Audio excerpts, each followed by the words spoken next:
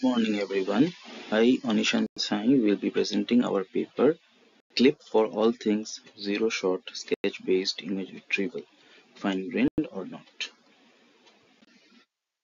In sketch based image retrieval, we aim to retrieve the appropriate images from a database of photos which are closest to the input query sketch. However, sketches are notoriously difficult to collect. A practical scenario for application of SBIR is the zero-shot paradigm which examines the data scarcity issue from a category transfer perspective. Here, a model is trained on a certain set of classes but evaluated on another completely disjoint set of classes without any additional data provided during inference. The key reason behind success of a ZS SBIR model lies in how best it conducts semantic transfer across object categories and between sketch photo modalities. Compared to other areas on zero-shot literature, semantic transfer in ZSBR has remained rather rudimentary, mostly using standard word embeddings. In this paper, we fast-track research to be aligned with the status quo of the zero-shot literature and for the first time propose a synergy between foundation models like CLIP and the cross-modal problem of ZS-SBIR. CLIP exhibits highly enriched latent space and already encapsulates knowledge across a myriad of cross-modal data. As for ZS-SBIR, CLIP is therefore almost a perfect match as it already provides a rich semantic space to conduct category transfer and it has an unparalleled understanding on multimodal data which SBIR dictates. At the very heart of our answer to this synergy is that of prompt learning that involves learning a set of continuous vectors injected into CLIP's encoder. This enables CLIP to adapt to downstream tasks while preserving its generalizability. Furthermore, we extend to an even more difficult setup of fine-grained ZSSBIR, which aims at instance-level sketch photo matching across categories. Contrastive language image pre-training, or CLIP, widely popular visual understanding tasks, consists of two separate encoders, one for image and another one for text. The image encoder in our case uses a vision transformer where an input image is divided into fixed sized patches and embedded. The text encoder first converts a sentence with n words to word embeddings and appends a learnable class token which is passed via a transformer to extract textual features. The model is trained by a contrastive loss maximizing cosine similarity for matched text photo pairs while minimizing it for all other unmatched pairs. As retraining the entire foundation model for a downstream task goes against its philosophy, we resort to prompt learning.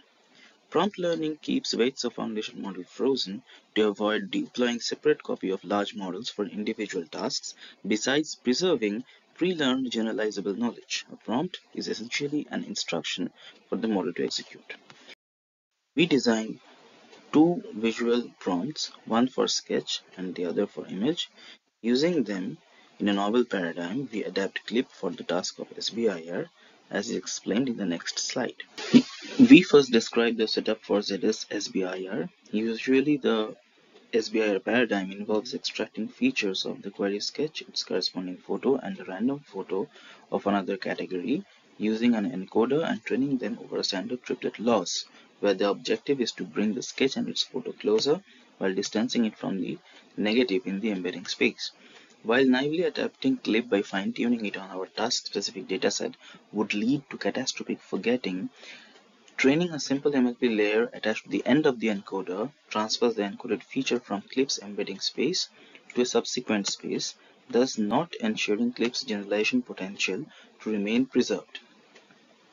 We thus opt for learning two sets of visual prompts, one for sketch and the other for image. These are fed along with patch tokens to the CLIP's VIT image encoder. Knowledge learned by CLIP is distilled into a prompt's weights, keeping encoder weights frozen except the trainable parameters of every layer normalization layer.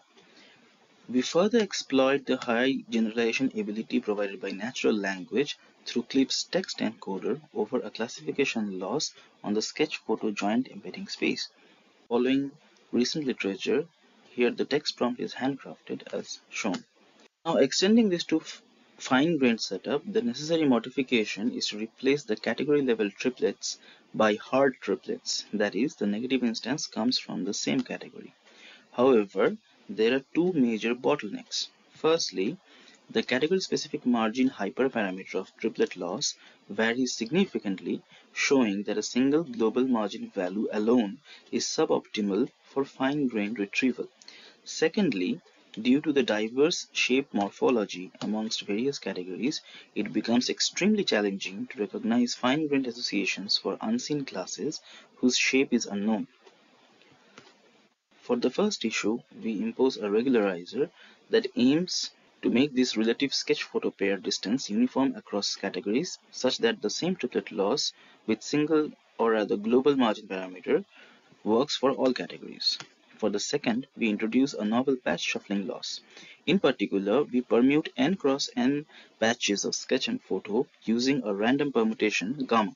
Given a sketch photo pair of any category, uh, training should decrease the feature distance of the sketch permutation from the same permutation of its paired photo while increasing it from a different permutation. Please read the paper for more details. We evaluate on the popular Sketchy, TU-Berlin, and QuickDraw datasets, which are large collection of photo sketch pairs for ZS SBIR, and on Sketchy for the fine-grained SBIR task. We compare our method against the state-of-the-art zero-shot SBIR methods we also design a few foundation model based designs in context of SBIR as well as zero shot FGSBIR for a fairer evaluation. For ZSSBIR, the performance of the model is measured using mean average precision and precision across 200 top retrievals, while for fine grained retrieval, we use the top Q rank list metric. Specifically, we report top 1 and top 5 results. Quantitative comparison of our method against frameworks and baselines on ZS SBIR and cross-category fine-grained zero-shot SBIR is reported here. Our method outperforms all others in comparison. Here are some qualitative zero-shot categorical SBIR results on Sketchy. Here are some qualitative fine-grained zero-shot SBIR results on Sketchy. Next, we ablate our model's components one by one the results show that every single loss component contributes significantly towards the accuracy. The second section shows the generalization potential of our model. In particular, it holds stable performance when the training data size is limited, as well as when the number of training categories are lower. More ablations are detailed in our paper. The overall take-home message is that the proposed clip and prompt learning paradigm carries great promise in tackling other sketch-related tasks where data scarcity still remains a great challenge. Thank you. Please read our paper and visit our website for more details.